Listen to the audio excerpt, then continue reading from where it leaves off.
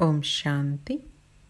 ప్రశ్న తనువు మనసుల స్వచ్ఛత అంటే ఏమిటి?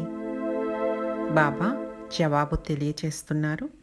ఆరు ఒకటి పంతొమ్మిది వందల తొంభై మురళిలో తనువు యొక్క స్వచ్ఛత అంటే తనువుని ఆత్మకి మందిరంగా భావించి ప్రతి స్థూల కర్మేంద్రియాన్ని పవిత్రంగా ఉంచుకోవడం. ఉదాహరణకు నోటి మాటలు మధురంగా ఉండాలి. కఠినంగా ఉండకూడదు. మనసు యొక్క స్వచ్ఛత అనగా మీ పురుషార్థంలో వచ్చే జయాపజయాలు బాబా ముందు దాచకుండా తెలియచేయాలి. సేవ కూడా స్వచ్ఛమైన మనస్సుతో చేయాలి. ఎన్ని మేళాలు చేసినా ఎన్ని కోర్సులు చెప్పినా స్వచ్ఛత లేకపోతే ఫలితం ఉండదు. స్వచ్ఛ బుద్ధి ఉన్న ఆత్మ ఏదైనా శ్రేష్ట కార్యం చేసే ముందు జరిగిపోయిన వ్యర్థ విషయాలు జ్ఞాపకం ఉంచుకోదు.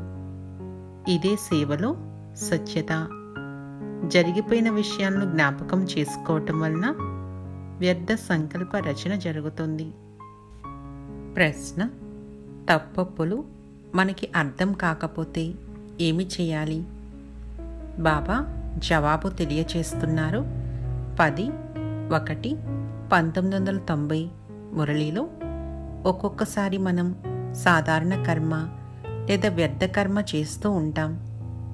అది ఒప్పో తప్పో మనకు తెలియక పరవశం అయిపోతూ ఉంటాము. అటువంటి పరిస్థితుల్లో సిద్ధి పొందాలంటే బాబా ఎవరినైతే నిమిత్తం చేశారో వారి ఆజ్ఞకు విలువ ఇవ్వాలి. అనగా వారి ఆజ్ఞను పాటించాలి. నిమిత్తమైన వారికి చెబితే ఎవరికైనా చెబుతారేమో అని మోసపోవద్దు.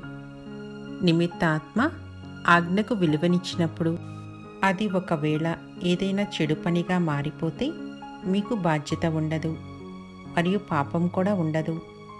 ఇది శివబాబా యొక్క గ్యారంటీ. వాస్తవానికి నిమిత్త ఆత్మ అనగా త్యాగి తపస్వి ఆత్మ. ఓం శాంతి.